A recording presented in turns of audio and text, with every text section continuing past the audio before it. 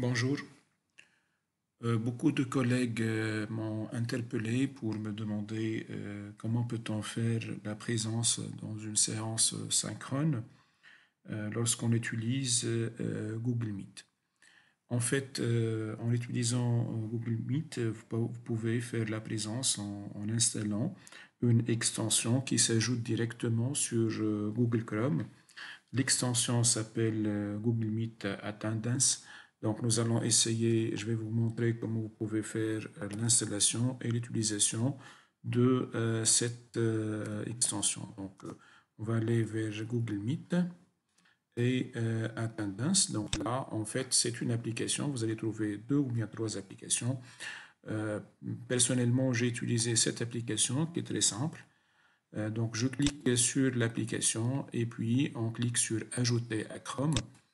Euh, une fois qu'on ajoute à Chrome, donc on clique sur évidemment ajouter l'extension. Donc l'ajout de l'extension me fait apparaître euh, au niveau de la barre de tâches euh, un bouton verdâtre qui est reconnaissable, qui permet de reconnaître cette application. une fois que ce bouton-là existe sur votre extension, vous pouvez facilement faire euh, des séances euh, synchrones et que ces séances vont être enregistrées, non pas enregistrées, mais plutôt la présence sera enregistrée automatiquement. On va essayer de vérifier ça ensemble et je vais par la suite vous donner les résultats en termes d'output. Bien, je vais aller directement au niveau de, ma boîte mail. Donc, je vais programmer une séance ou bien je vais aller vers une séance synchrone sur Meet nouvelle euh, réunion. Donc, euh, démarrer une réunion instantanée. Voilà, donc vous voyez ici, il y a un bouton qui s'affiche au niveau pour la première fois pour déclencher le processus de, euh, de la version ou bien de la prise en charge de la présence. Je vais cliquer sur Participer.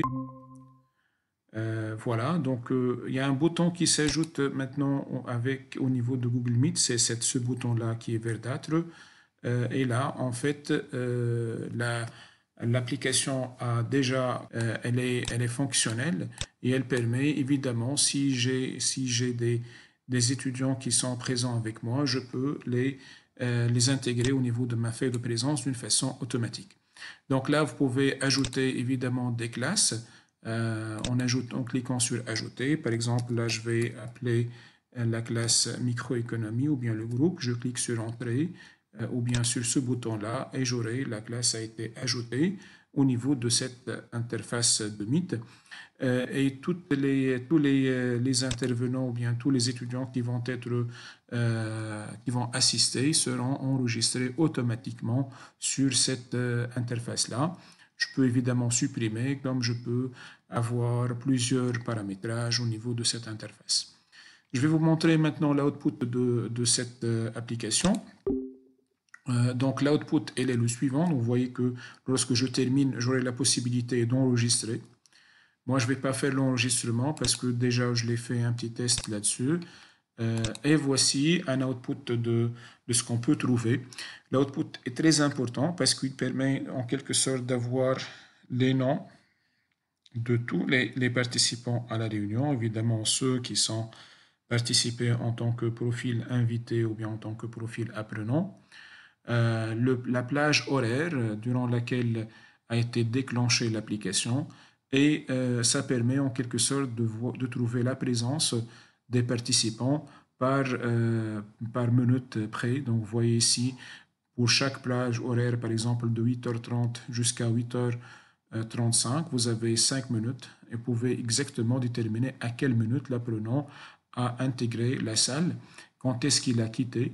Euh, et là, vous avez le bouton euh, fin de la réunion qui a été effectuée à, la, à 9h32. et vous avez évidemment des plages qui sont vide qui montre qu'il y a absence de l'apprenant. Euh, mais il a commencé la réunion à partir, par exemple, de 9h15 minutes. Euh, là, vous avez un apprenant qui, qui n'a pas euh, une connexion stable. et en quelque sorte, donc là par exemple un apprenant qui a quitté la salle à 8 heures, disons 57 minutes, 58 minutes.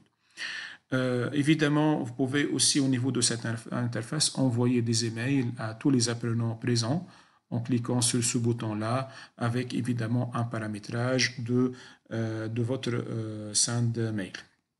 Vous avez aussi la possibilité, si vous gardez évidemment la même classe, de choisir, donc si vous avez plusieurs enregistrements, de sauvegarder les euh, différentes dates des, des, séances synchrones au niveau de cette interface.